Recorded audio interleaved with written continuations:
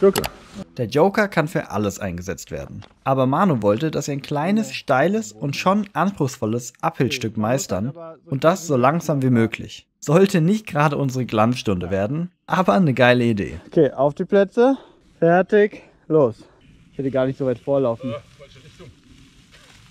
Ja, okay. Sechs, sechs Regeln missachtet. Willst du nochmal?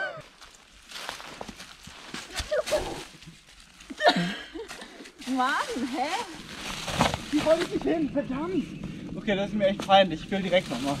Weil es bei allen so schlecht lief, haben wir direkt gesagt, man hat zwei Versuche. Ja, verkackt. Töte!